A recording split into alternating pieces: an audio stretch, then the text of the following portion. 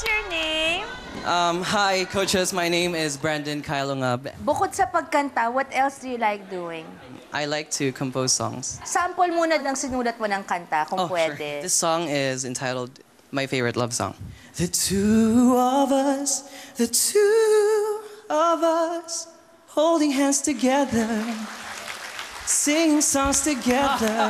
Oh, the two of us, the two of us, caring for each other.